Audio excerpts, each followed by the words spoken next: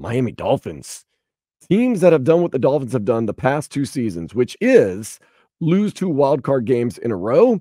Well, history shows it's been pretty, pretty, pretty, pretty good. Two teams have lost two wild card games in a row. Then the third year, guess what? New York Giants.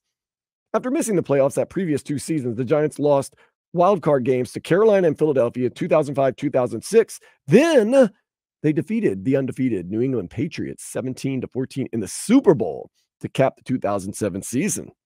Want some more history? Get a hold of this. The other team that did it, I mean, losing two wild card games in a row that third year, Tampa Bay Buccaneers. They lost wild card games in convincing fashion to the Eagles in 2000, 21 to 3, and 2001, 31 to 9. Then they beat the Raiders in the 2002 Super Bowl. So, does that mean if history is any indicator, you should be buying your tickets to New Orleans soon? Not for the Dolphins. so, you don't believe in history? No. History does repeat itself now. But you lose two times in the playoffs. a wild card. In a wild card, the third time you're gonna win. So wait, so why would you Maybe it's all part of the master plan. why would you want to make the wild card? Why don't you just win the division? Because this is the master plan. Chris Grier and those guys realize this is what we're going to do. I don't think so. We're going to get to the wild card and lose two times in a row because the pre- two previous teams that have done that have gone on to win the Super Bowl The third consecutive year? that third year. The third time or just the third consecutive year? So wild card loss, wild card loss, Super Bowl. Right. But was it back to back to back? That's yeah, it has to be back to back Oh, okay, years. Okay. That because I mean, it made no sense because I don't remember the lost two wild- Giants. I don't remember the Giants making the playoffs back to back to back years with Eli. They did. What was that 05? They 06, or lost two wild card games, and I mentioned them. No, no, no. I, I do, but I'm just trying to they but hey, hold on.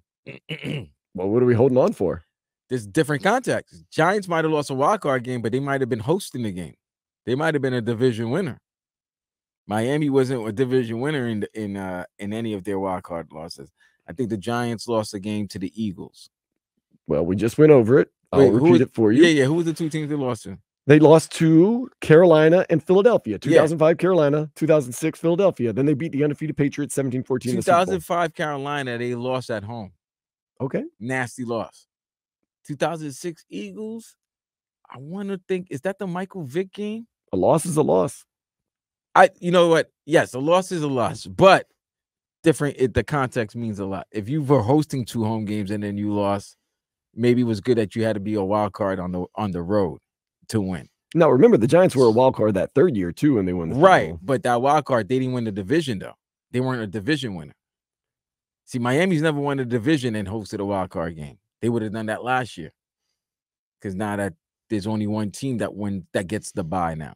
Mhm. So maybe now, if it's a different context, like they win the division, but they still have to host the game, then I could I could see that. I could see that because then you get that monkey off the back. You host a home, you host a playoff game, and you win a playoff game.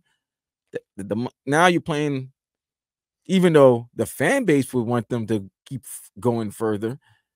Now they're playing a little bit looser because they they accomplished one of the goals, and then now when you're going for the next goal, it's not so much pressure.